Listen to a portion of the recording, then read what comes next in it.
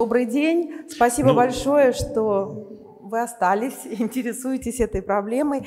А, я, моя тема, я руковожу комитетом по телемедицине при Всероссийском союзе пациентов, и первые решения а, телемедицинские по установлению коммуникации между врачом и пациентом, а, как ни странно, были не по инициативе врачей, а по инициативе пациентской организации. И наше первое решение ОнКонет по дистанционному мониторингу пациентов во время химиотерапии и после лекарственной терапии терапии уже внедрено в нескольких региональных онкоцентрах в Санкт-Петербурге. Сегодня я буду рассказывать вам о том, а, как Телемедицина, как интернет-технологии могут повлиять на качество жизни пациента после лечения, в то время как он отправился домой, и как сделать так, чтобы он ощущал себя неброшенным. Термин «неброшенным» придумали пациенты, которые сейчас нам говорят свои заключения об этом эксперименте, и поэтому, в принципе, это и было нашей задачей.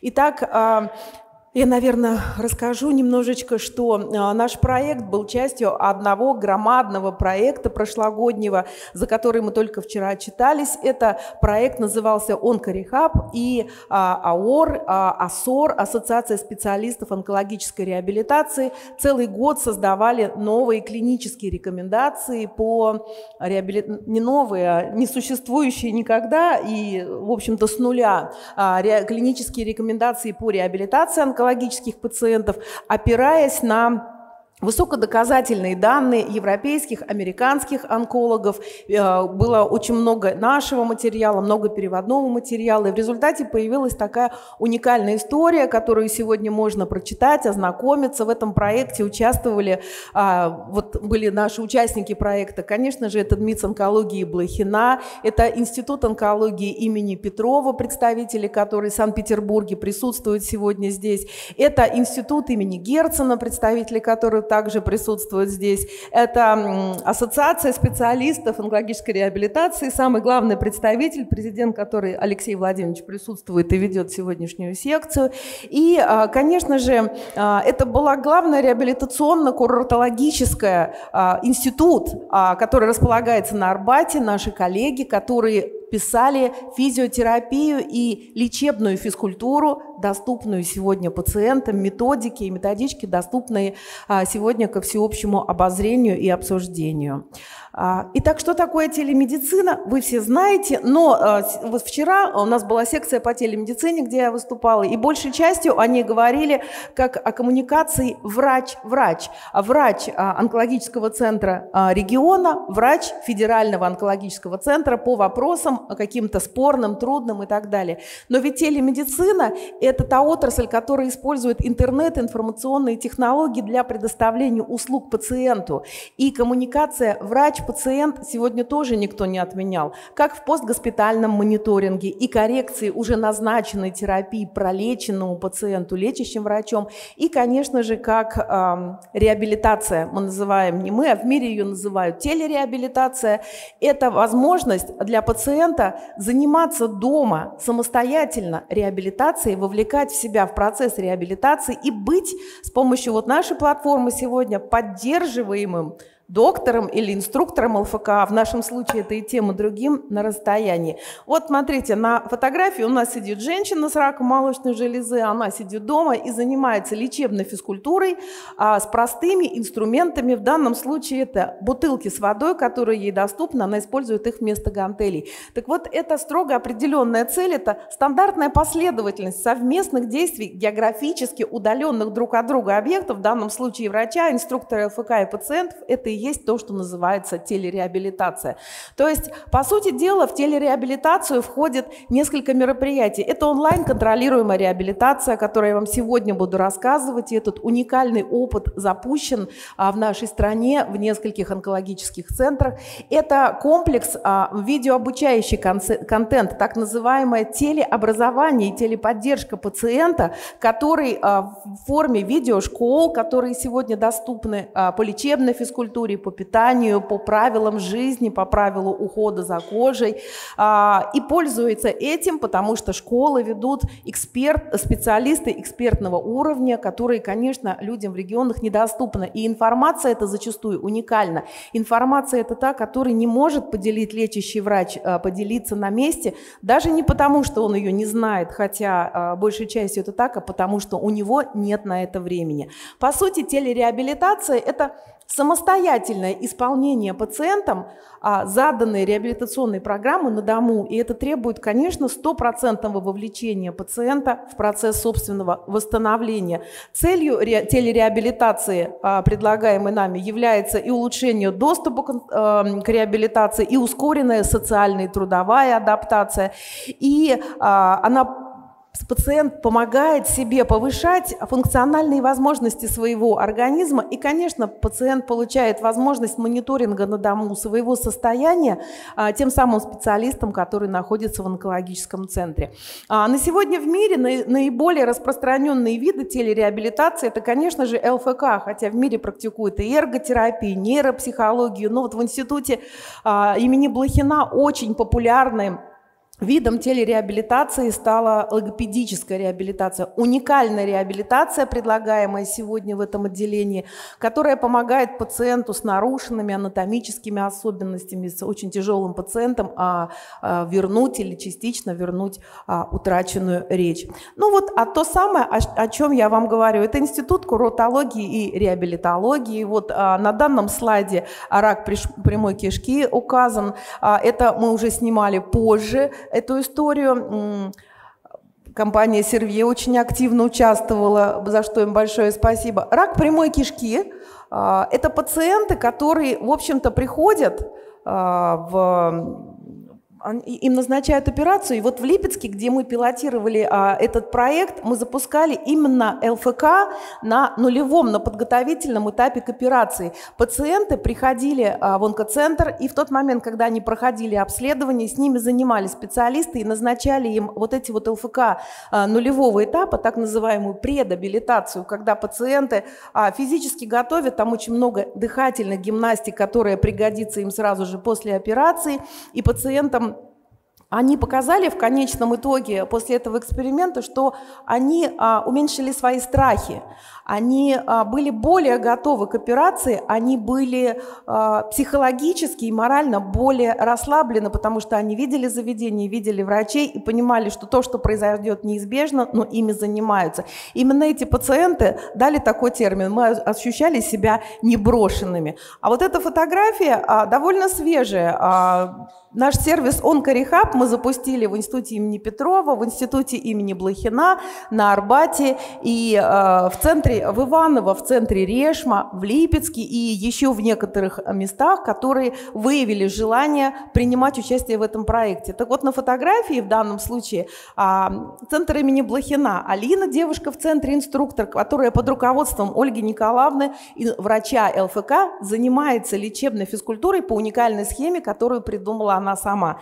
Надо сказать огромное спасибо Ольге Аркадьевне Обуховой, это заведующая отделением реабилитации, открывшимся в Ронце также в период прохождения этого проекта. Это уникальное отделение на сегодняшний день на 25 коек, которое оказывает полный комплекс реабилитационных услуг, в том числе и телереабилитацию в виде ЛФК. У нас женщины с РМЖ, которые лежат в онкоцентре очно, вы их видите сзади, а, они общаются с теми пациентками, которые выписались, отправились домой, и как непрерывная реабилитация, а реабилитация это непрерывный процесс, они отправились дома заниматься с инструктором ЛФК под руководством врача ЛФК, под присмотром и ответственностью Ольги Аркадьевны Обуховой. Они отправились вот в такое совместное плавание. Сверху в квадратиках у нас женщины, которые дома.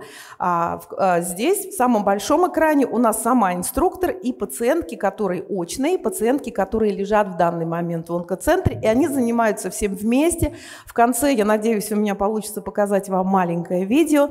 И вы знаете, они радуются.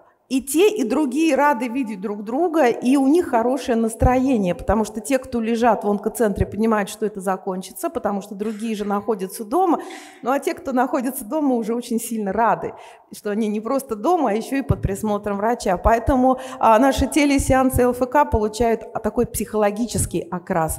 А это Институт клиническая больница управ делами президента и профессор Смоленцева Ирина Геннадьевна, реабилитолог, которая была в команде, она активно участвует и а, в проведении ЛФК, и они практикуют проведение э, за счет этой платформы психологической групповой поддержки пациенток. А, и очень им нравится это. Очень нравится Ирине Геннадьевне. Разработаны специальные опросники, и вот а, платформа пошла и в этом направлении. А это героиня нашего проекта и вообще э, человек по жизни, который вызывает мое восхищение, это логопед Татьяна Анатольевна Петрова, которая занимается целыми днями очно с пациентами с утраченной выраженные функции речи, она учит их говорить, а, она занимается с ними артикуляционной, дыхательной и прочими зарядками. Это очень тяжелая тема. И те пациенты, которые выписываются, они а, с помощью дистанционной технологии сегодня получают продолжение заниматься этими процедурами и дальше, потому что процедура это длительная и не всегда удается поставить а, пациенту в том или ином виде речь за те дни, пока он госпитализирован, потому что это возможно спустя только 7-8 дней после операции. А вот такая ситуация происходит к добровольно присоединившемуся проекту а, в центре города Иваново, Решма. А, команда, мультидисциплинарная команда специалистов, а, то есть это врачи, общаются с пациентом, которому они назначают курс реабилитации дома. Изначально они занимались реабилитацией больных после инсульта, и они очень активно включились в процесс реабилитации больных после, онкологич... после лечения онкологического заболевания. Они делают это совместно с онкологическим центром города Иваново. И вот как раз в Решме у нас получился очень интересный опыт. Хотя этот опыт предложил Центр имени Рогачева, а точнее а, директор Центра реабилитации «Русское поле», Александр Федорович Карелин. Когда они увидели наши занятия, они сказали, Ира, а подключи это, пожалуйста, у нас, потому что те самые дети, которые а, проходят реабилитацию, отправляются домой, и их мамы хорошо знают, и комплексы ЛФК они получают их на бумажке, и хорошо знают, как их делать, но а, лишь только 20% этих мам делают это дома. И ребенок, который, с которым занимаются ЛФК, у него, конечно же, совершенно другое состояние, у него, а, они борются со слабостью в основном, этот ребенок более сильный, этот ребенок более а, толерантен, этот ребенок в общем-то, немножечко его сразу видно, что им занимались. И поскольку это такая острая проблема, Александр Федорович сказал, что если вы ну, не будете заниматься со своими детьми, то, возможно, мы будем рассматривать, что следующий срок вашей реабилитации тоже будет отодвинут. То есть в данном случае телереабилитация стала носить такой а, еще и характер а, Воспитание, воспитание дисциплины в пациенте. А Липецкий онкодиспансер, который тоже присоединился к нам таким волонтерским образом, показал нам опыт подготовки пациента к реабилитации. А вот я приезжала, запускала эту платформу, работая в обычном кабинете телемедицины, которая с утра занимается телеконсультацией с федеральными центрами, телеконсультацией со своими поликлиниками, а потом она превращается в кабинет дистанционного ЛФК. И на предоперационном определенном этапе Липецкие врачи занимались подготовкой нутритивного э, статуса колопроктологических пациентов, а в эксперименте были именно они, а, подготовки э, нутритивной поддержки к улучшению переносимости лечения. И, в общем-то, у нас это получилось, и сегодня об этом опыте мы рассказываем. Ольга Аркадьевна в ближайшем будущем а, планирует использовать эту платформу для проведения школ нутритивной поддержки а, тех пациентов, которые также выписываются из их же отделения реанимации информации для того, чтобы заниматься наблюдением восстановления этих пациентов. А, в основном это, конечно, опухоли ЖКТ а, на дому. Вот таким образом я вам показала, что мы планируем использовать теле-ЛФК в нутритивной поддержке пациента. А вот то самое телеобразование – это пациентские школы, которые с Ольгой Аркадьевной и с другими специалистами, с ведущими экспертами мы продолжаем снимать, популяризировать всеми возможными способами.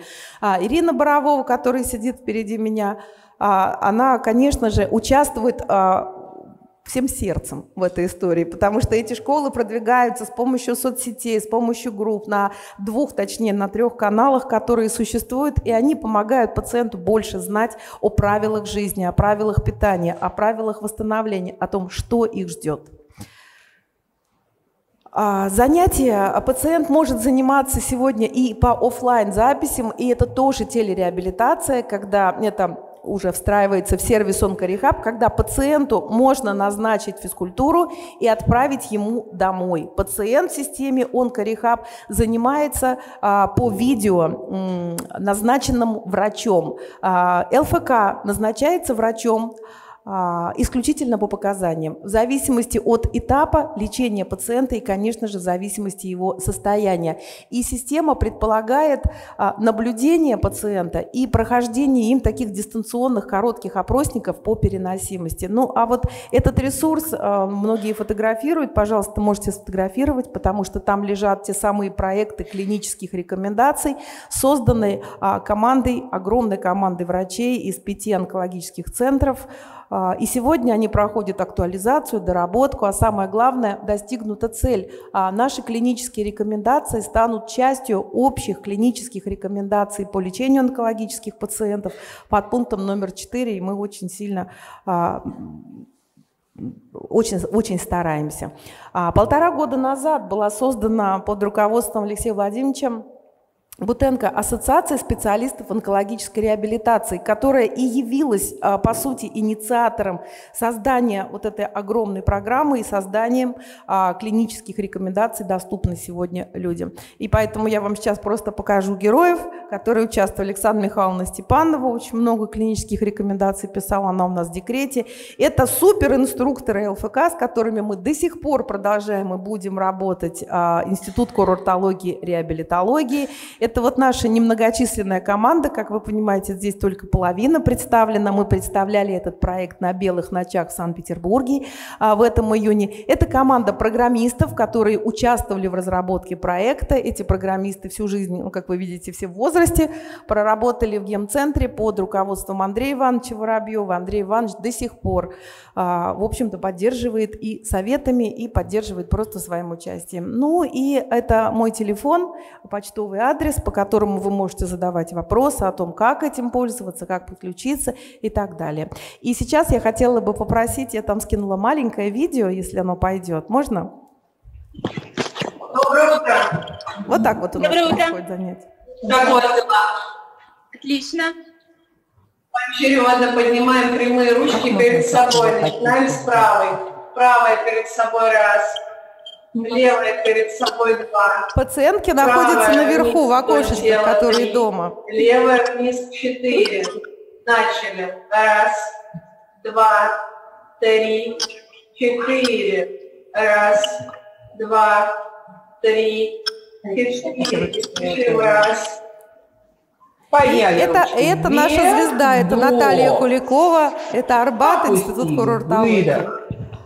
курортологии. Посмотрите наверху в среднем квадратике. Там сразу два человека. Реабилитируется пациентка и ее мама. Они сидят с палкой, очень довольные друг другом. А в других видео у нас пациентки с маленькими детьми. И вот они показывают, что а, у нас лучше настроение. Мы чувствуем себя в поддержке, мы чувствуем себя не одинокими, не брошенными один на один вот с лечением своего заболевания. Кончились мои 15 Да. минут? И я тоже закончила. Спасибо большое.